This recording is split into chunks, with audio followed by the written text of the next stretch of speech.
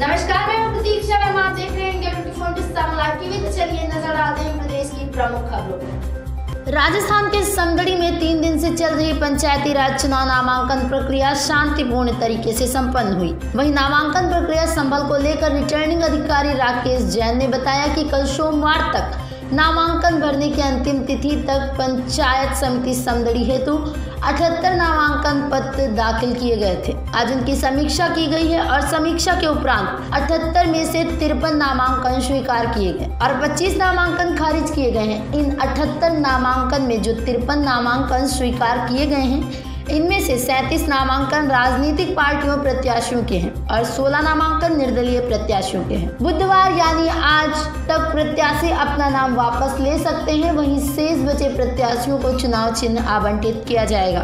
वहीं 5 दिसंबर को चौथे चरण में चुनाव संपन्न किए जाएँगे। India twenty four into seven live TV के लिए शैतान सिंह माली की रिपोर्ट। कल नामांकन भरने की अंतिम तिथि तक पंचायत समिति समदड़ी हेतु कुल अठहत्तर नामांकन पत्र दाखिल किए गए थे। आज इनकी समीक्षा की गई और समीक्षा के उपरांत अठहत्तर में से तिरपन नामांकन स्वीकार किए गए और 25 नामांकन खारिज किए गए। इन अठहत्तर नामांकन में से जो तिरपन नामांकन स्वीकार किए गए हैं इसमें से सैंतीस नामांकन विविध राजनीतिक पार्टियों के प्रत्याशियों के हैं और 16 नामांकन निर्दलीय प्रत्याशियों के हैं।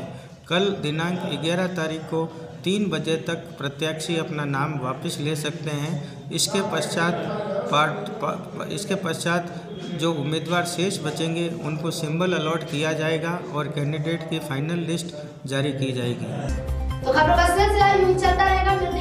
खबरों के साथ तब तक के लिए आप बने रहिए हमारे साथ और देखते रहिए India twenty four seven live